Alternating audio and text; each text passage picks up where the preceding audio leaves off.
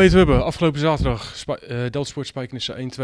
Uh, als coach zijn kan je natuurlijk uh, tevreden zijn met het resultaat. Ben je ook tevreden met het vertoonde spel? Ja, dat ben ik eigenlijk wel. Ik denk dat wij... Ja, we hebben geen fabuleuze voetbalpot op de mat gelegd. Vorige week toen we hier stonden zeiden we tegen elkaar... Deltsport uit voor Spijkenissen is altijd lastig.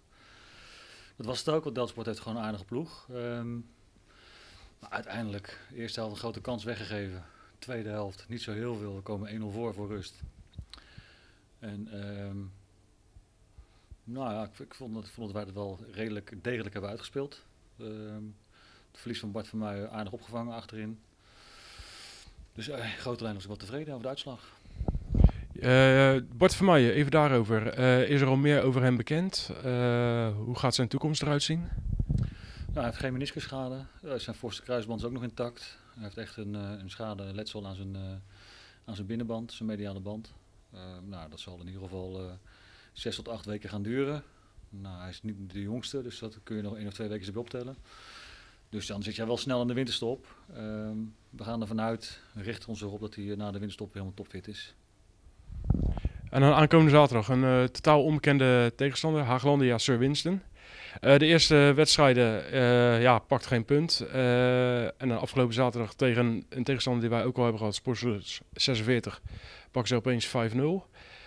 moeten wij dan als Spijkenissen zijnde uitkijken dat we niet in het mes de onderschatting lopen? Of zien, moeten we dat anders zien? ik zie geen enkele aanleiding om te onderschatten. Dus ik ga er ook niet vanuit dat er ook één speler bij ons rondloopt die denkt dat uh, dat was wel eventjes. Um, dus van onderschatting kan en mag geen sprake zijn. Dus jij durft eigenlijk al een voorzichtige winst te voorspellen? Nou, dat zou onderschatting zijn. Ik zeg net dat we dat niet gaan doen. Nee, Haaglandia is een levensgevaarlijke ploeg. Die hebben een paar razendsnelle spitsen. Die hebben echt wel hele goede spelers lopen. Um, is een moeilijk te bespelen ploeg. Dus ik geloof dat ze de meeste goals hebben gemaakt in de afdeling op dit moment. Uh, afgelopen zaterdag vijf, maken er gewoon drie tegen Zwaluwen vijf wedstrijden, 13 goals hebben ze al gemaakt. Hè? Dus uh, als je die gaat onderschatten, dan ga je eraan zaterdag. Oké, okay, Peter Webbe, dankjewel. Etienne Mariana, uh, rechtervleugelverdediger. Uh, derde seizoen alweer bij Spijkenisse. Hoe is het met je? Ja, met mij gaat het goed. Uh, ja, de reden dat ik jou eigenlijk heb uitgenodigd vanmiddag. Um, ja, voor mij ben jij toch wel een van de meest constante factoren op dit moment. Vorig jaar ook al. Uh, het kampioensjaar twee jaar geleden. Uh, je begon in de aanval. Ja, Peter nam de gok om jou in de verdediging te zetten. Was geen slechte uh, gok. Hoe heb je dat zelf ervaren eigenlijk? Ja, ik kon al verdedigen bij Portugal. PC Portugal was ik verdediger. En toen ik naar Spijkenis kwam, had mijn trainer Marcel Koper had mij aanvallen gemaakt. Voor dus mijn snelheid. En nu ben ik weer terug bij Beck, mijn echte positie. Um, ja, hoe je het spel van Spijkenis op dit moment gaan? Het gaat, af en toe gaat het best wel stroef eigenlijk.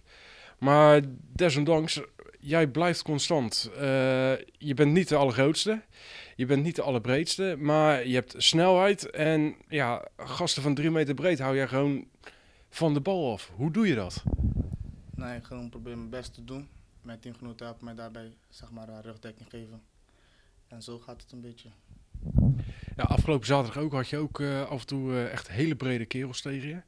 Maar jij geeft ze gewoon echt geen kans. Uh, is dat gewoon instinctief? Is dat killersmentaliteit?